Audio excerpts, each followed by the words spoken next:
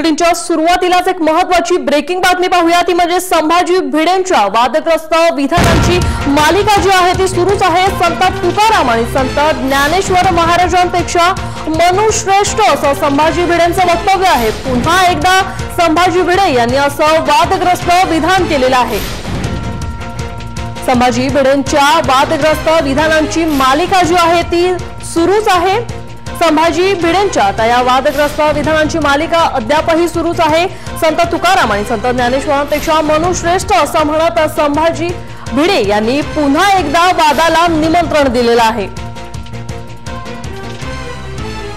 संभाजी भिडे यांनी पुन्हा एकदा वादग्रस्त विधान केलेलं आहे. संभाजी भिडेंच्या वादग्रस्त विधानांची मालिका जी आहे ती सुरूच आहे संत तुकाराम आणि संत ज्ञानेश्वर महाराजांपेक्षा मनुश्रेष्ठ असं वादग्रस्त विधान संभाजी भिडेंनी केलेलं आहे.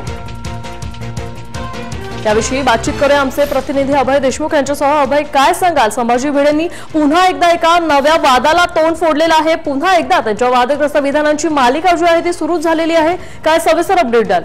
निश्चितच संभाजी भिडे जे सौ प्रतिष्ठानचे सर्वेसर्वा आहेत त्यांनी पुण्यामध्ये एका सभेमध्ये असं म्हटलेलं आहे की संत तुकाराम महाराजांनी संत ज्ञानेश्वर महाराज यांनी धर्माचार्य शिकवलं मात्र मनू या सर्वाच्या पुढे एक पाऊल आहे.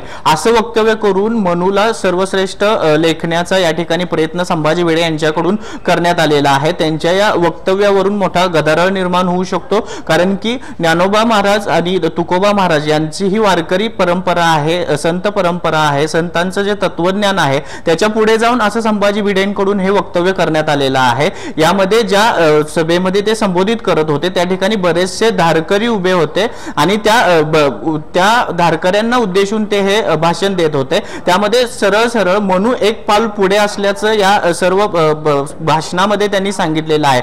एकूणच या संभाजी भिडेंच्या अनुयायांकडून आणि संभाजी भिडेंकडून नेहमी या वारीमध्ये कोणत्या ना कोणत्या प्रकारची वक्तव्य केलेली आपल्याला पाहायला मिळालेली आहेत. आणि त्याचबरोबर एक प्रकरण सुद्धा त्यांचं एक गाजलेलं होतं जे म्हणजे शस्त्र घेऊन येण्याचं. त्यानंतरचं हे दुसरं प्रकरण आहे दुसरं वक्तव्य आहे जे या वारकरी संप्रदायासाठी निश्चितच धक्कादायक म्हणावं लागेल. वृषाली. नक्कीच अभय खरं तर आता वारीचे वारे सर्वत्र वाहत आहेत आणि वारकरी समाज जो आहे तो आता एकवटलेला आहे. आणि आताच संभाजी भिडेंनी असं वक्तव्य केलं आहे त्यामुळे हे जे प्रकरण आहे ते अजून चिघळण्याची चिन्ह दिसत आहेत का निश्चितच या ठिकाणी आता या या सर्व वक्तव्यावरती वारकऱ्यांच्या प्रतिक्रिया येऊ लागलेल्या आहेत. निश्चितच ज्यांच्यासाठी जे आदर्श आहेत सर्व वारकऱ्यांसाठी आदर्श आहेत ते तुकोबा ज्ञानोबा हे सर्व संत परंपरेचं तत्वज्ञान तत्वज्ञान आपल्याला सांगत आलेले आहेत. आता जर सिच्युएशन आपल्याला त्या ठिकाणची आपल्याला परिस्थिती पाहायची असेल तर आपला पुण्यामध्ये प्रतिनिधी आहे निलेश जगताप. त्याच्याकडेच मी सरळ जाईन. निलेश तू या सर्व प्रकारावरती वारकऱ्यांशी बोललेला आहेस. तू वारकऱ्यांशी संवाद साधलेला आहे. संभाजी भिडेंच्या या वक्तव्यानंतर काय प्रतिक्रिया आहेत वारकऱ्यांच्या?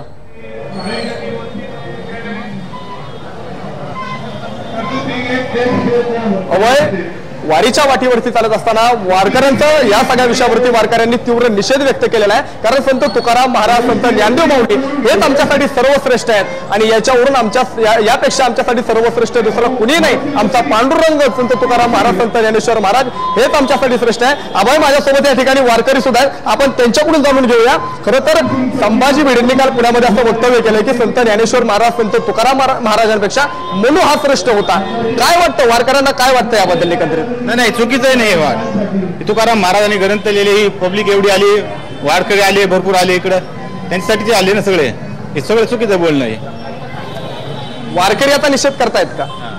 वारकरी दिसत नाही चुकीचं आहे ते वारकरी.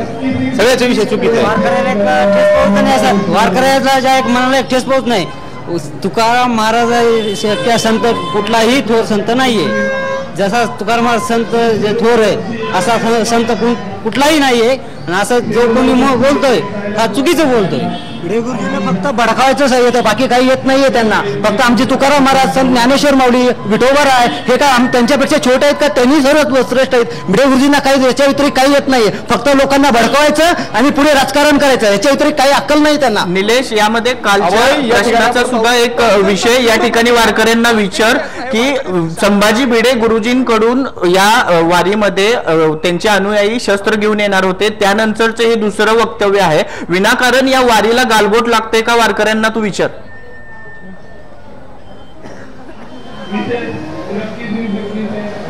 नक्कीच अभय माऊली खरं तर संभाजी भिडे गुरुजी वारीमध्ये गेल्या वर्षी शस्त्र घेऊन आले होते. यंदाही ते या ठिकाणी वारीमध्ये शस्त्र घेऊन येणार होते. किंवा आज त्यांनी वक्तव्य केलेलं आहे की सगळ्या संतांपेक्षा मनुश्रेष्ठ होता.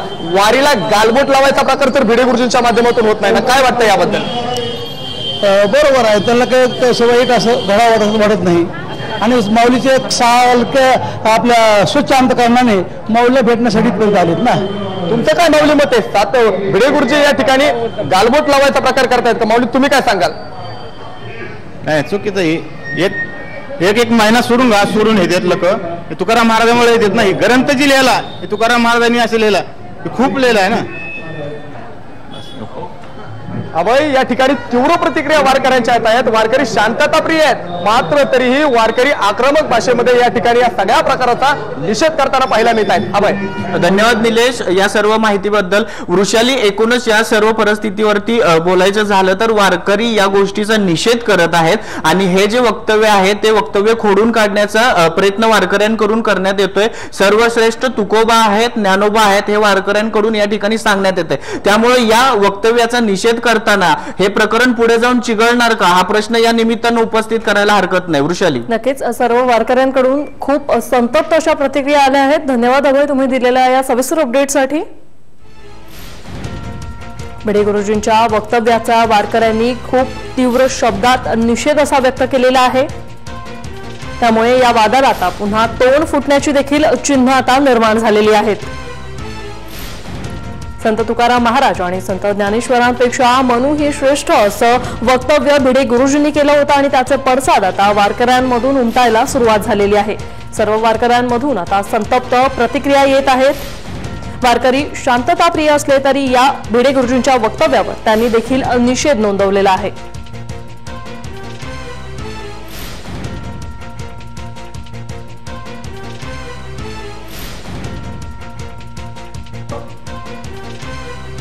नेमकं भिडे गुरुजींनी काय वक्तव्य केलंय कशामुळे या वादाला नवीन तोंड फुटणार आहे ते पाहूया.